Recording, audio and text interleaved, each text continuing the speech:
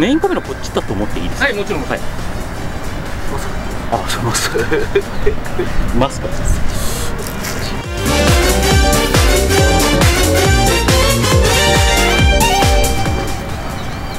改めまして皆様おめでとうございます。私石井正則と申します。ねまあ、前編の動画をご覧いただければお分かりになると思うんですけれども今回私がパシフィックサイクルズジャパンの YouTube チャンネルジャックしちゃっております。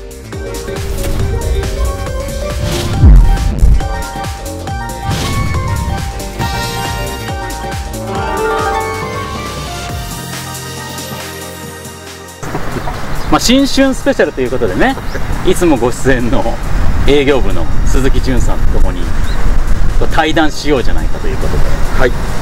あれしてますけど、まあ、先週というかね先週じゃない前回もねおはい。話ししましたけれども、もう20年来はいのお付き合いはい。でどうですか20年付き合ってきて？え？石井は、えそっちですか？自転車ですか？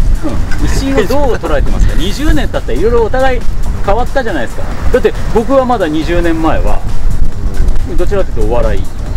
そう借りてキリギリス時の方でメインでやってて、はい。で鈴木さんもうん。自転車屋さん。からこのパシフィックサイクルジャパンの営業として今度こう下ろして販売してとい。う側に回ってっていう。ことでええ。やっぱ20年でいろいろ変わったことありましたけど。そうですね。鈴木さんは大きく変わったという意味では変わったって感じですか？うーん。でもやることは変わってないんですか？どっちなんですか？まあ自転車に携わってるという部分では全く変わってないですよね。あうんーずっと。だけど全国の自転車屋さんと交流できるっていうのは自分もお店にいた頃はなかなかなかったんでええその点はねすごくあのプラスになる楽しいです。ああ、はなるほどな。そうかそういう楽しさがまたあるわけですね、はまあ、僕もねお笑い芸人やってて、うん。まあ、その間にコンビももう活動休止して解散してってなって、まあ今だいぶ違うじゃないですか、まあ、イケメン俳優としてねやってるわけですけど。はいはい。いななんですって？あごめんなさい。今今さらっさらっと今入れ込んだんですけどバレました。バレますよね。イケメン俳優ではない、はい。でもねそんな中20年ずっと結局自転車うん。僕も乗ってきててで鈴木さんとももうお友達として仲良くさせてもらってて。はい。で前回の動画では割とバーディー長く乗らせていただいてるからバーディーの話中心だったんですけどはい。その後僕はキャリーミーも買わせていただいてるはい。ありがとうございます。いやーキャリーミーですよ。意外と乗ってくださってますよね。そうですね。でもキャリーミーは相当ある種尖った自転車ですよね。うん。あ思いっきり尖ってますね。そうですね。なんといってもあのタイヤサイズ。はい。ああ何インチなんですか？8インチ。8インチですよ。ちっちゃって話ですもんね。でもまあよく走りますよね。そうですね。あのーギア変速もついてないんでスポーツするっていうか競技するとかスピード出すとかそういうとこは全く考えてなくてですね、えまあお散歩自転車っていうんですかね、えうん。うん、そういったコンセプトなんでバーディーとはまた全く全然違うんですけど。はい。まあやり使い方によってはとっても便利な自転車じゃないですかね。やっぱりね動画見てて輪行したことあるという方は、もしかしたらお分かりになるかもしれないですけどやっぱりスストレスあるじゃないですか。うん。輪行って、うん。どうしたって。いくら折りたたみ性能が高い小さくなるっつっても重たかったり、電車の中でこう袋でこう抱えてがどうもね邪魔になってもうご迷惑をかけてんじゃないかってうん。神経使ったりあとそのぶつけたりなんだりしたらどうしようとかそういったこと含めてちょっと神経使うとこあるじゃないですか。ありますね。でもやっぱキャリーのサイズ感ってえもう本当に輪行という意味で言うと邪魔にならないえうん。楽だしで。特に車内に乗った時の安心感は違いますよね。そうなんですよね。やっぱそういう部分キャリーには OK でこうなんていうんです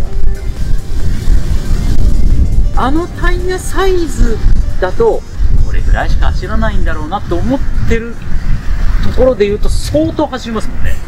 うん。あの全国いろいろ試乗会行くじゃないですか。え大体キャリー見て期待する人いないんですよ最初。どうせいっぱいこがないと進まないでしょって、はい。まあそれは言いますよね思いますよ。こんなに小さいんだもんねですから最初の期待値が低いもんですからご試乗いただくと上がっちゃうんですよね。ああわかる。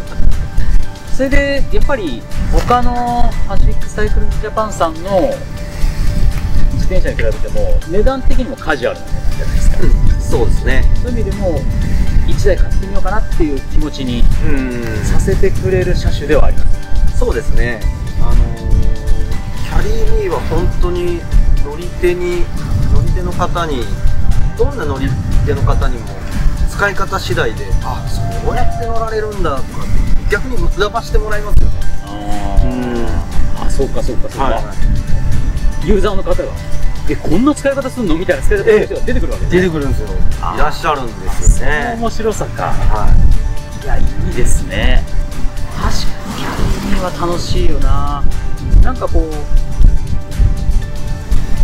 ガジェット的な楽しさっていうのは自転車にもあるじゃないうん。特にフォールディングバイク折りたたみ系っていうのは、その折りたたみ性能だったり折りたたんだ形形状とかいろいろそのギミック的なこと含めてそのガジェット的なね楽しさがあるわけですけどもちろんキャリーミーにはそれもあるし。で持ち運べる感がよりガジェット感が強いっていうか そういったこう所有欲をくすぐる感じってあ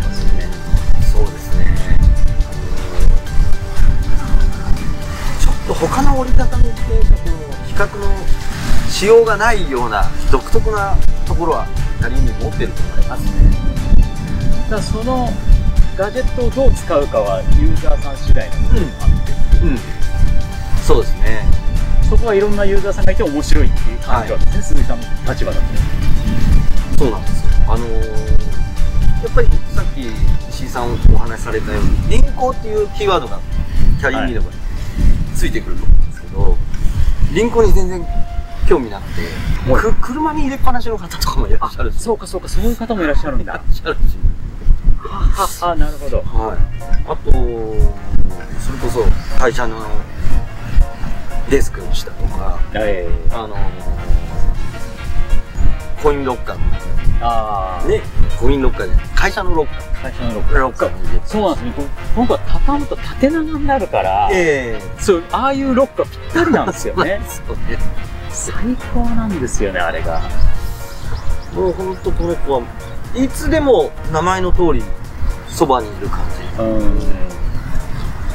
だから僕だからそういう意味でねまあこれちょっと苦情になっちゃうかもしれないですけど。はい。し新年早々にキャ騎乗ですに対してもちろんバーディーもそうなんですけど、はい。ちょっと思うとこあるんですよ。はい。僕は若干キャリーミーとバーディーの乗ってるこの動画を見てらして乗ってるユーザーさんは分かってると思うんですけど、うん。でもこれから乗りたいって人が若干勘違いしがちな面があると思ってうん、僕はキャリーミーとバーディーは実は逆だと思ってるんですよ。え？ある目線から見ると。なんかキャリーミーはこう色とかもカラフルだし、はい形もポップだから、女性が食いつきがちなんですよ。うん、うん、僕の知り合いの女子もやっぱ食いついたんですよ。はい。でもやっぱりこの尖ったっていう表現をさっきしましたけど、はい。ある種尖ってるから、は実はマニア向けな感じのとこもある 久々に女性があんまり普段は乗らないみたいなうんもう社会人になってからは自転車乗ってない私。ええ。でもちょっと運動したいなと思って自転車見に行ったらこれが可愛くて一目惚れしましたっていきなり30いくつはい。あの大卒で大学の時に 大学行く時までママチャリ乗ってました。はい。30代前半ですキ ャリーにいきなり買いました。乗れないですよねすぐに。あちょっと危ないじゃないですか。ちょっとあのー慣れるまでねそう。要するでそういう意味で言うと前回の動画でお話ししたバーディーっていうのはうんごついからごつさっていうのはあるじゃないですか。タフネスさうん。だから男性向けなイメージ持たれてる人多いんですよ僕の周りに。自転車の人ってえでもいやじバーディーこそ安心して女性が乗りやすい自転車ですよって言いたいもう一回言ってもらっていいですか？これ絶対世間の人あのだから僕はちょうどそのミラクルサイクルライフっていうラジオ番組をやらせてもらってたり、はい。自転車初心者の人と話す機会も多いんですけど大体この2台の時に絶対女性はキャリーミークですし、うん男性はバーディーええ。いや逆なんだと。あ女性が最初に乗るならバーディーの方がいいんですよあ安心して乗れますよ。しかもそれをそのタイヤ太いタイプとかもいろいろあるしうん。バーディーの場合。でクラシックとかでとか、それでサドルの位置が調整するかとかうん。でハンドルもいろいろ選べるし、うんって考えると絶対バーディーの方が女性最初に乗るにいい折りたたみだと思うんですよ。でキャリーミーは可愛いから欲しくなるけど、乗ったら多分怖いって感じてあんま乗らなくなっちゃったって人いるんじゃないかなっていう思いがあるんですよ。だそういう意味で言うと僕のこれ要望ですよ。はい。キャリーミーみたいなええ。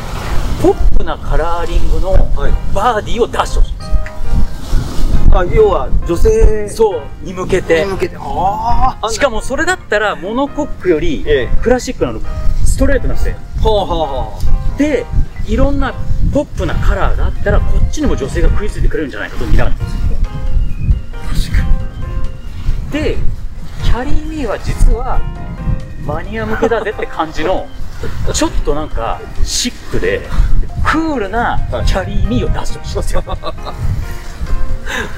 そうしたらその YouTuber の人ってガジェット YouTuber とかいう人いるように、はい。い、ろんなこうカメラとかマイクとかの ことを紹介する YouTuber さんじゃないですか。はい。そういう人こそキャリーミーに食いつくんですよ。おでもこのカラーリングしてるとえそういう人たちはこっち食いつかずにバーディーですよ。これがね俺逆だと思ったんですよ。